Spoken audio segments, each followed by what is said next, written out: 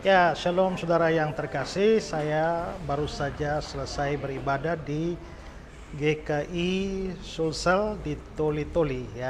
Dan saudara lihat ini ada foto saya bersama-sama dengan para hamba Tuhan dan juga majelis dan sejumlah jemaat dan ini adalah gereja GKI di Toli Toli ya. Nah, ini adalah Bapak pendetanya ya. Dan ada sesuatu yang menarik dari gereja ini karena ini ada rupanya ada sejarah Pak Yahya Waloni di sini. Nah, jadi mungkin uh, Bapak Pendeta bisa ceritakan sedikit dulu bagaimana kaitannya ini dengan gereja ini dengan Pak Yahya Waloni. Mungkin bisa cerita.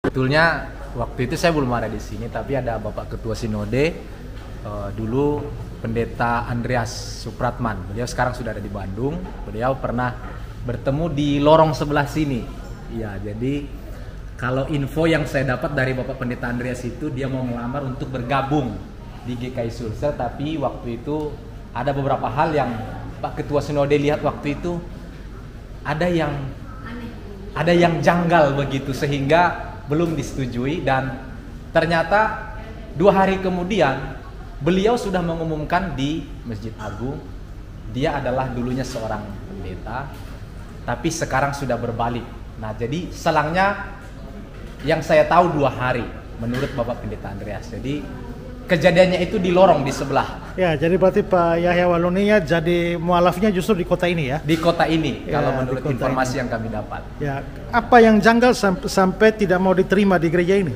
Wah, kalau itu saya oh, tidak ya. dapat informasinya. Ah. Tapi yang dirasa motivasinya kok sepertinya agak lain, tapi dia menunjukkan dia punya kepintaran dia punya kemampuan.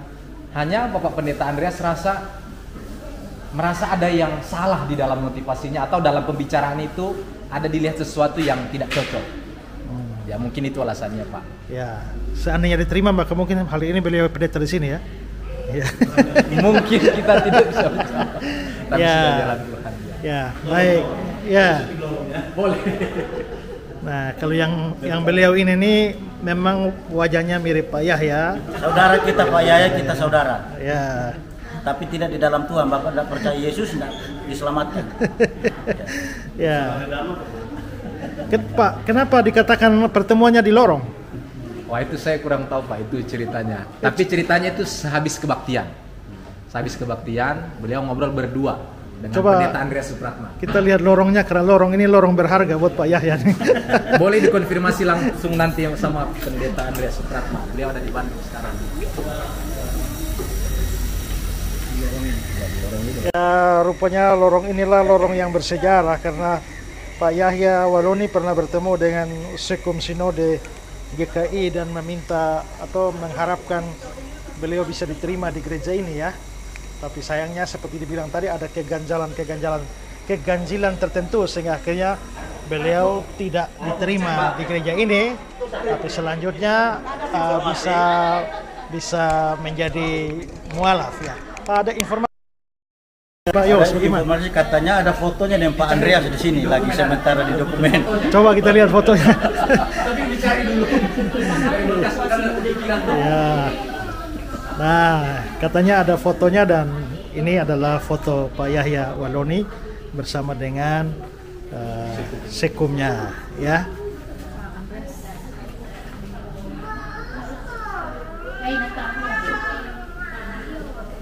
Oh, kalau ada pun Demikian informasinya saudara dan dari GKI di Toli Toli ya saya bersyukur bisa sampai ke tempat ini. Ya. Oh ya karena Pak Yos ini dengan wajahnya mirip dengan Pak Yahya Waloni mungkin ada mau memberikan sedikit pesan buat Pak Yahya Waloni mungkin ya? Pak ya. Yos mau kasih kasih pesan? Ya pesannya Pak Yahya Waloni terima kasih pernah berseteru dengan Pak Esra Suru tetapi harapan saya Bapak menemukan jalan yang benar yaitu hanya di dalam Yesus ada keselamatan. Ini pesan. Kita mirip wajah tapi tidak mirip hati dengan Bapak dengan lain. Saya dengan Tuhan Yesus Bapak percaya Tuhan Yesus diselamatkan. Ya, mungkin ada harapan Bapak Yahya bisa balik kembali ke Tuhan Yesus? Ya itu doa saya. Kiranya Bapak bisa kembali. Masih Tuhan bilang tidak ada kata terlambat bagi orang yang salah jalan. Oke, ya baik. Dari uh, GKI di Toli Toli saya Pendeta Soro. Selamat hari Minggu, Shalom, salam sejahtera buat saudara sekalian.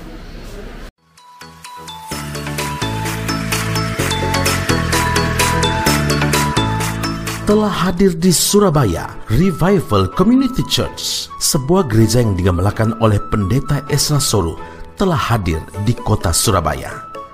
Kebaktian diadakan setiap hari Minggu pukul 10 pagi di Beldom Hall lantai 6 Apartemen Bellevue Manyar, Jalan Manyar Sabrangan, Surabaya. Untuk informasi lebih lanjut, silakan menghubungi Pendeta Muda Agustina Karpada di 0858 0626 7903. Sekali lagi di 0858 0626 7903. Mari bergabung, beribadah dan bertumbuh bersama di dalam kebenaran yang alkitabiah bersama Revival Community Church. Tuhan Yesus memberkati.